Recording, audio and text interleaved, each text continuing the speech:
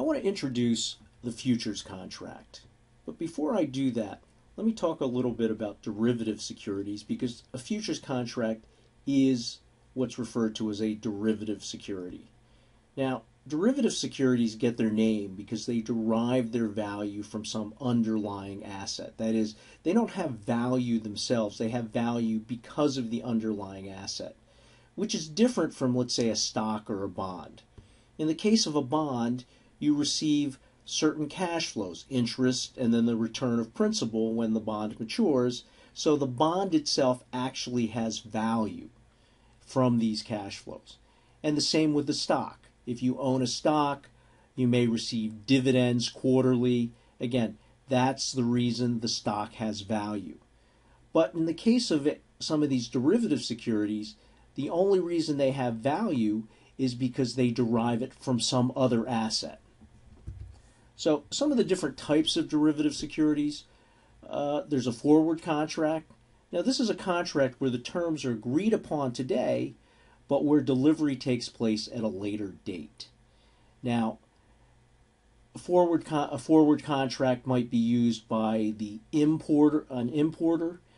This this person is going to need a certain amount of, let's say, euros in order to pay for whatever it is he's importing.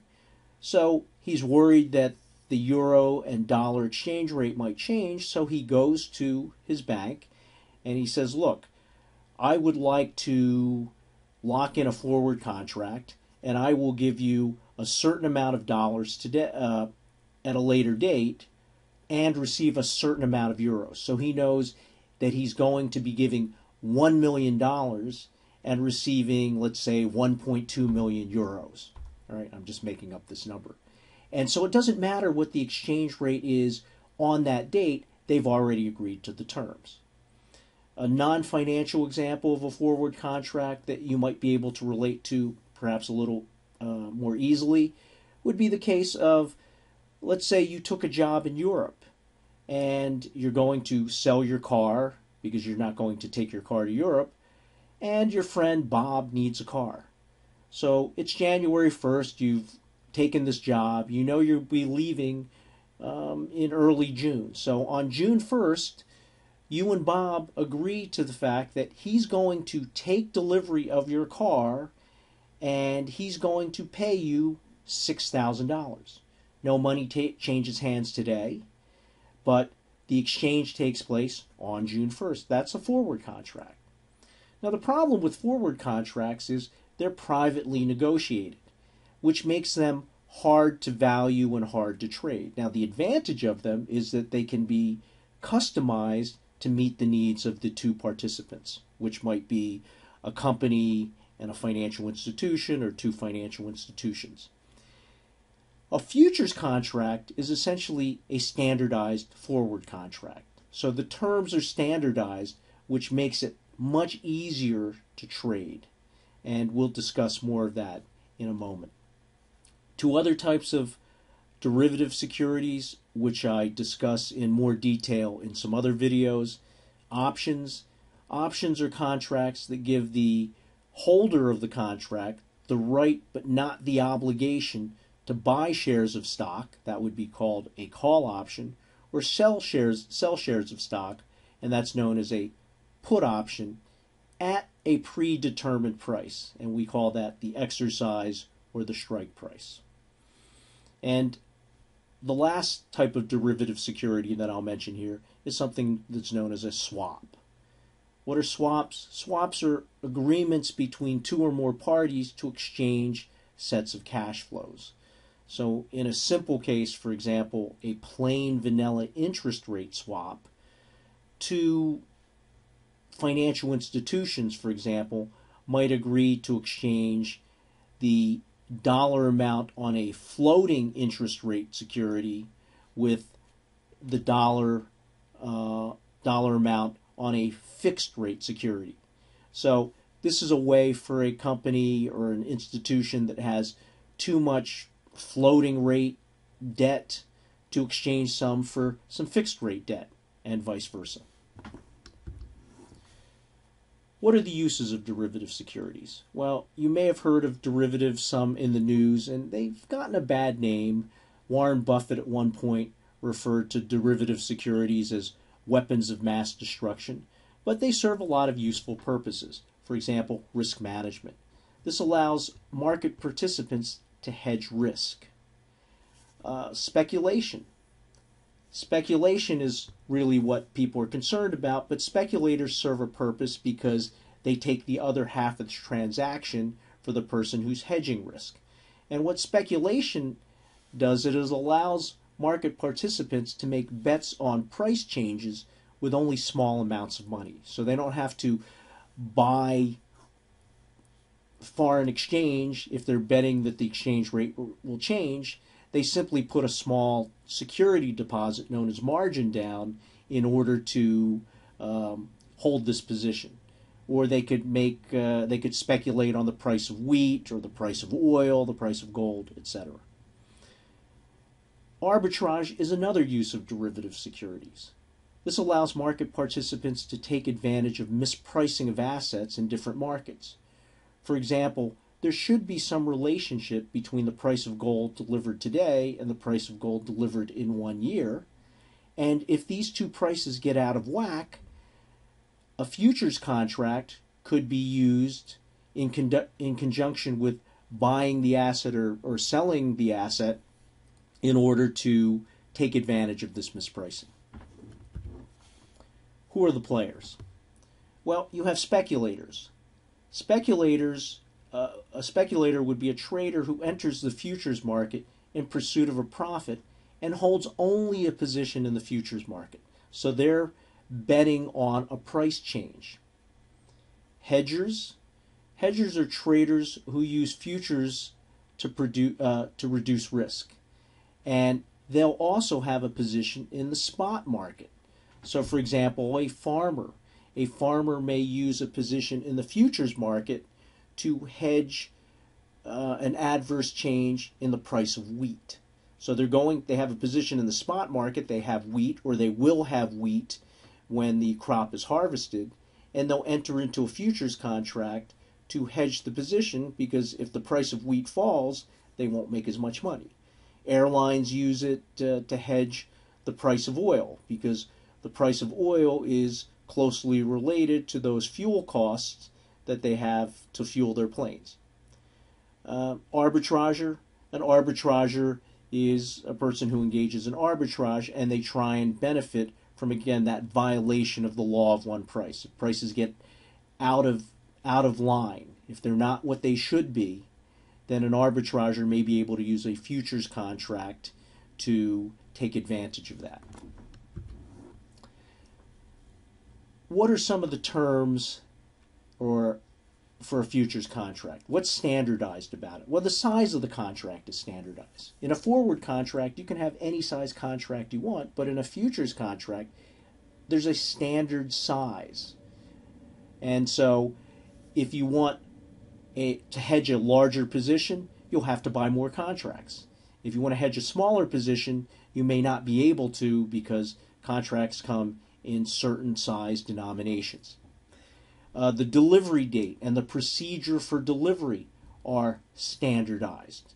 So you can't you can't just deliver whenever you feel like it. There's a delivery date. There's a procedure for doing it. There's a price at which you can deliver. Sometimes you can deliver different uh, products, but for different prices. If you're entered into a bond futures contract, you may have several different types of bonds you can deliver, but you'll have to make an adjustment based on which ones you an adjustment in the price you um, receive based on what you deliver.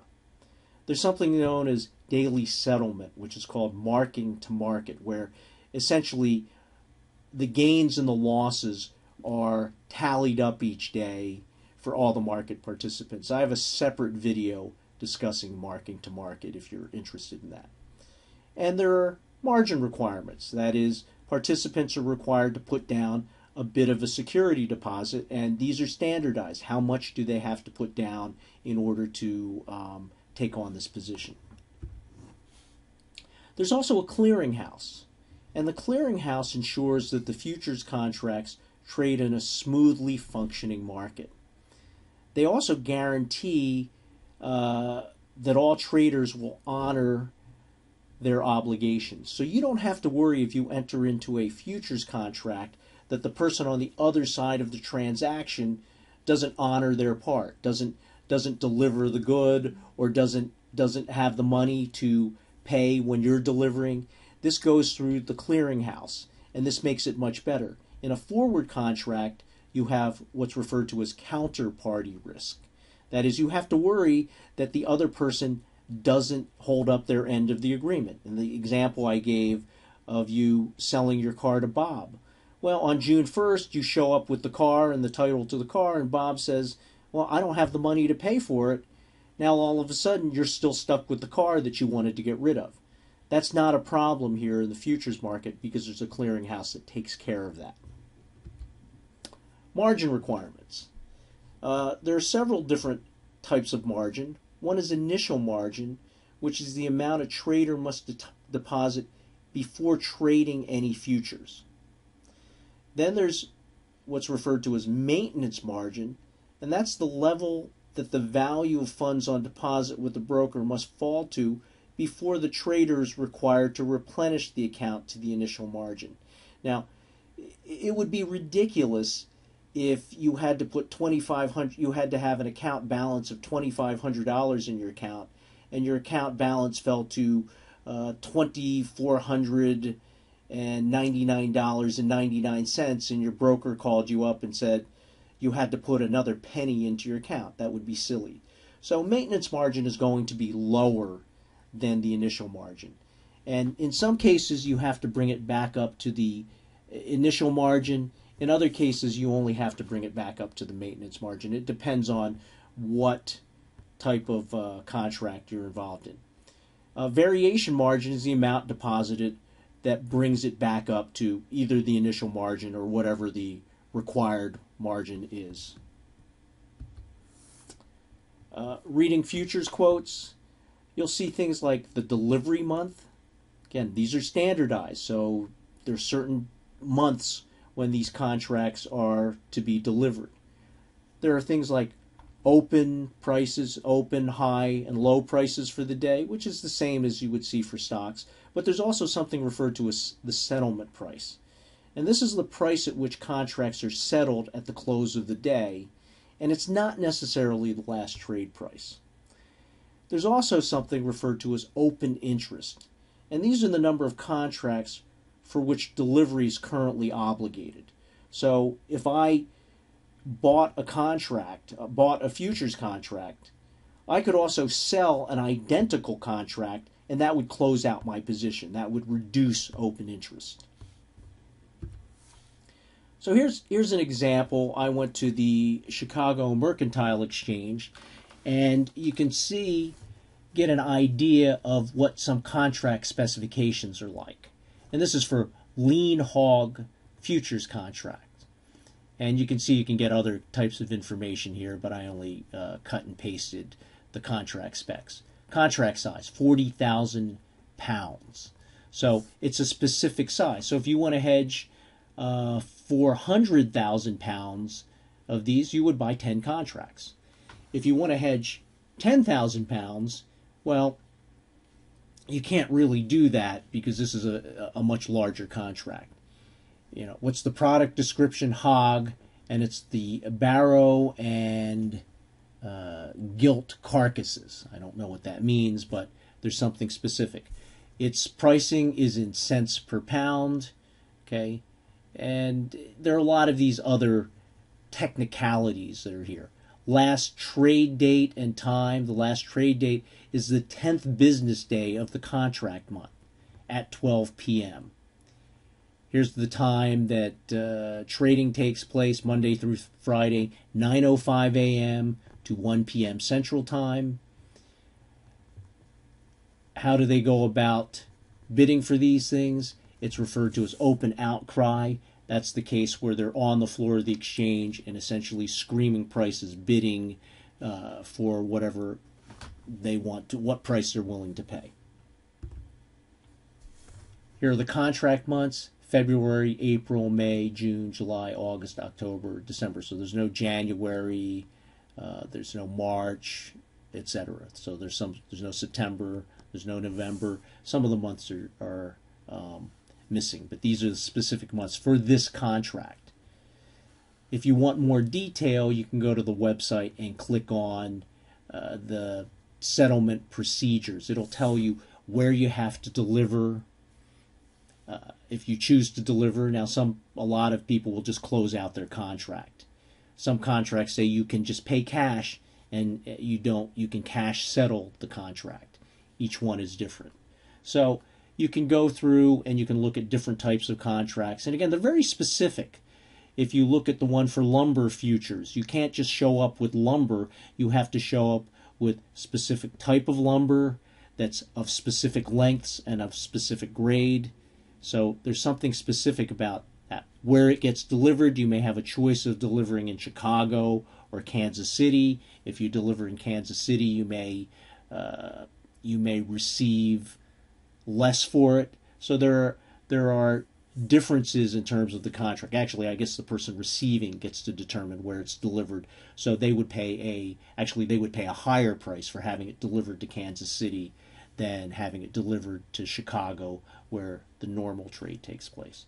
So that's a basic intro to the idea of futures contracts where essentially they're just standardized forward contracts, agreements to make and take delivery of something at a future the, the, the contract is made today, but the agreement to deliver and to pay for it is at some future date.